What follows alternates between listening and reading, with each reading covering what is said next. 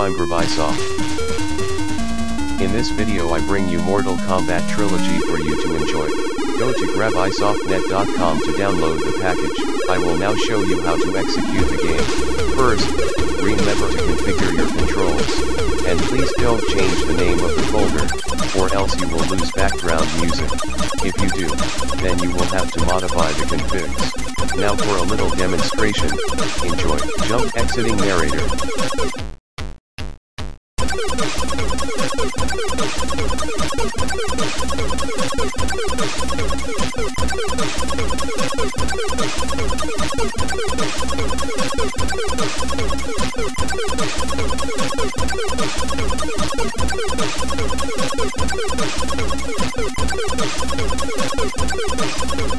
ごめんごめんごめんごめんごめん!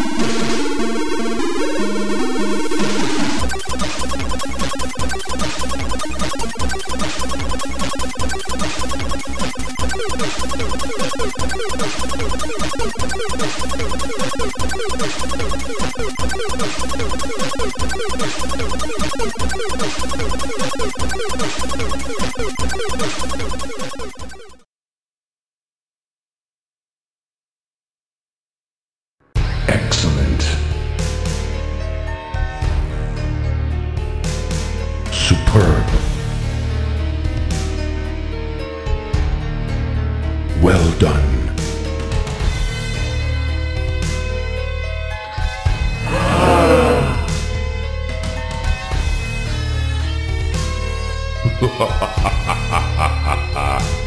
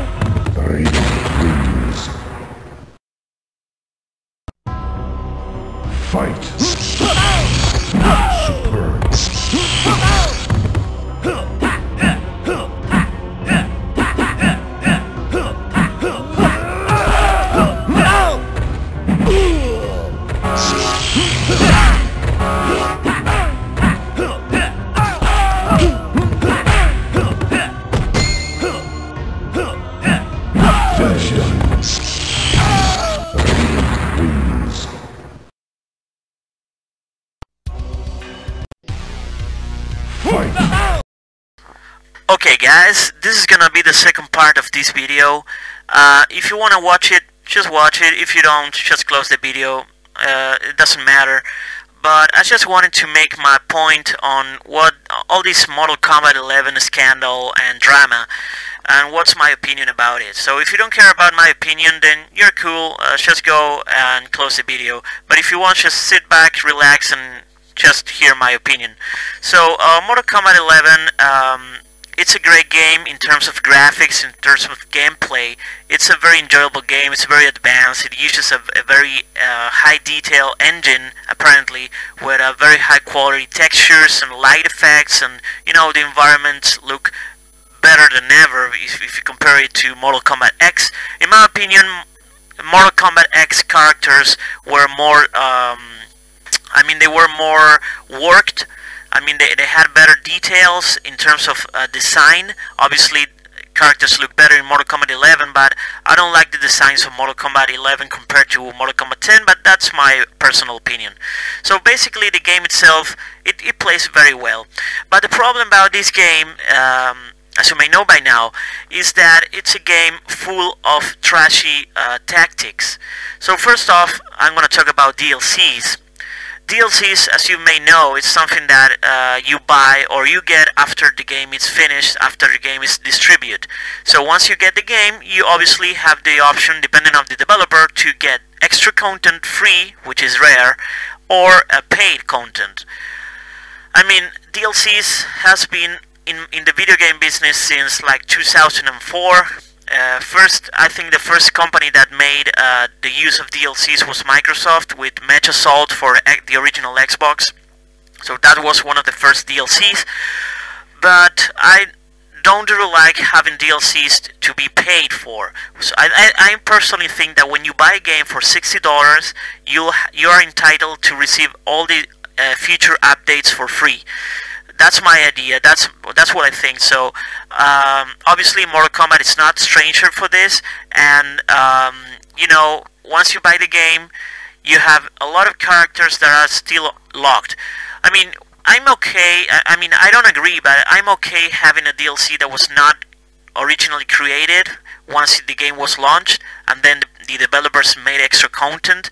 But I'm super, super against the political tactics that another NetherRealm Studio use that is like you buy the game and in order to unlock characters that are already inside the game you have to buy like five dollars each character that's completely insane because the characters are already in, inside the, the game files. You know, the original, if you have the disc inside the game disc or if you have the Steam version, they are already inside your, your game data folder. So that's insane. Charging you for content that, that it's already inside the game is crazy. then there are, you know, uh, Mortal Kombat, the most modern Mortal Kombat versions from Deadly Alliance, Deception, Armageddon, you know, so on they uh, feature that um, you know this level that is called the crypt where you have to, uh, to unlock stuff that you get from uh, virtual currencies that you earn by playing the game. But this time around this um, this crappy crypt has a lot of loot boxes that has uh, randomized content. So it does it, so it means that even though you can know the location of that loot box if you open it you can have whatever item uh, you, you just depend on luck. And that's pure bullshit.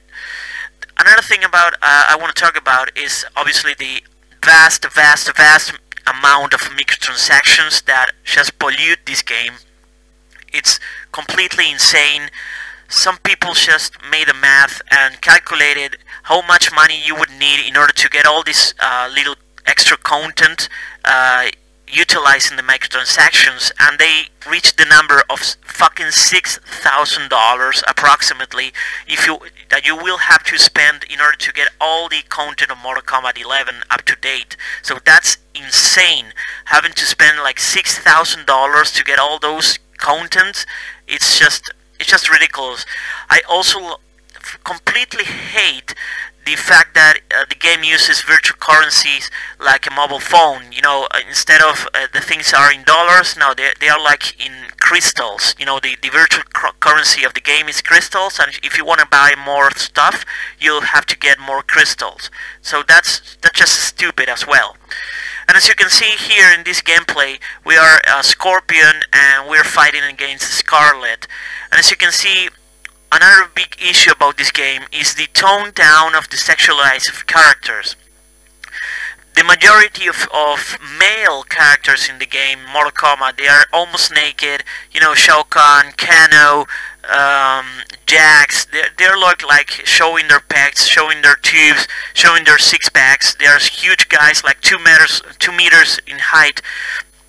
But the females, on the other hand, are completely covered. They their breasts have been toned down. They're very small. They are they lost their sexy appeal, and also they are they all look very angry and they look like very upset. They grumpy.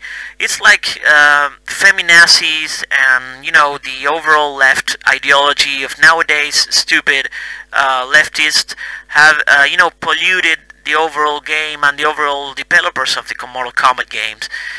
So you can see she rather looks like a Muslim woman uh, rather than a, a, a, proper Mortal Kombat character. Uh, so that's ridiculous. Um, you know, in the early 90s when Mortal Kombat started, uh, you know, its franchise, the uh, Mortal Kombat was all about breaking taboos, uh, being, uh, you know, not politically correct, just giving a fuck about what people th- thought about it, and just they they went along with that, and it was a super success.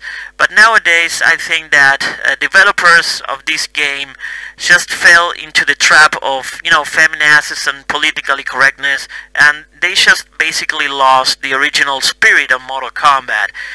Uh, I mean, the blood is still here, the gore is still here, the fatalities are still here, but a lot of stuff, such as the females and the microtransactions and all that shit, is like they are turning into the dark side, if you know what I mean. So that's terrible. Also, another thing I, I'm gonna mention about this game, another negative thing, is that the PC version has terrible support. The, the, it's just things. I mean, I feel that they don't care about the PC version at all because the at least at launch the game the PC version of the game if you bought the game from Steam had terrible terrible performance. Uh, the overall backgrounds they looked very blurry. The sound was like working very low. I don't know why. You have to turn out the volume all the way up in order to hear something. And uh, you know it I personally experienced a lot of crashes. I was playing mid game and the game just turn off and have to restart the game. It just it was just a mess. It was super shitty. And to top all this, this to just to finish my my opinion, um, Ed Boon recently published in his Twitter that this six thousand dollar worth of microtransaction was complete bullshit. Okay, dude, it's not bullshit. It's real. It's the amount of money you actually need to unlock all this shit. So I think the developers feel kind of grumpy and kind they kind of uh, angry because their game is not doing very well. Just because in a couple of days after the launch, the game has to go down like ten dollars, and originally it was like sixty dollars, and now it's like forty something. So that's a sign that they're not doing very well. Even though the game is obviously in the bandwagon, everybody's talking about this game. It's like a trending topic, but once the trending topic goes out and people stop caring about this game, uh, uh, you know, all the trending just like vanishes. I think this, this game is going to be one of the worst Mortal Kombat for performances in a long time. So uh, yeah, that, that was basically my opinion on Mortal Kombat 11 and the latest uh, policies that the developers are taking with this game. Um, uh, you know, just to finish up talking about this game, we're gonna talk about the same phenomenon, but with other games. So we're gonna talk about Lara Croft. You know, Tomb Raider. This is the original Lara Croft, and this is the nowadays the you know the the Lara Croft that is um, in the latest trilogy. So as you can see, the first Tomb Raider, I, I really prefer the first Tomb Raider. I know may some people may say that she looks more of a, a stripper than a Tomb Raider, but I think she's uh, it's her personality, dude. It's, it's it's how she was created. I mean, her huge breasts, her wasp uh, waist, uh, her uh, tall, you know, her huge lips. It's all her characteristics. Her her uh, you know her guns here, um, her ponytail. This is Lara Croft. If you, if you see this figure, you will identify her immediately. You're gonna you want to know that who, who she is. She's actually Lara Croft. She's like influential. She she looks powerful. She's influential in um, in a positive way inside the game franchise she represents. On the other hand, if you just compare it with the uh, modern, uh, you know, Lara Croft, you can see that she's a average girl, nothing special. I mean, she's kind of pretty, but she's just normal girl, and she's she doesn't look very powerful or, or very iconic uh, to be one a legendary Tomb Raider. You know what I mean? She's just just normal girl, uh, with lacking a lot of you know lacking personality because I, she doesn't transmit me any any sense of of, of you know adventurous spirit or, or something like that. So um, that's one another example. Not only Mortal Kombat is suffering from this phenomenon, but our other franchises are uh, you know falling inside the same dark side. Finally, for our last uh, you know example, I'm gonna talk about uh, Claire Redfield. So in Resident Evil games, uh, Claire Redfield is one of the main protagonists, along with Leon, Chris Redfield, you know all the stuff. Um, in the first uh, Resident Evil 2 game, you know the original game, she was a hot red chick, uh, redhead chick, um, very sexy and then in Code Veronica as well and then you know in the later games she was pretty much the same character. But nowadays with the release of Resident Evil 2 Remake I think it was a, an amazing game don't get me wrong but the overall model of her was very blockbuster for me. I mean, she's still if you if you look at the modern model of her, she's still pretty, but she's not the top model, the the super top model that she used to be. You know, she used to be look more like Melania Trump or something. She looks super hot, but in this modern games, she looks like an average girl also and I don't like that shit. I, I, mean, you're playing video games and you're supposed to play uh, in a fantasy world or in a, in a, in a reality that it doesn't exist. So why not playing with these kind of girls instead of these average girls. If you want to see these average girls, you have normal life. Normal life has is full of these type of girls. What, what you would like to play like this?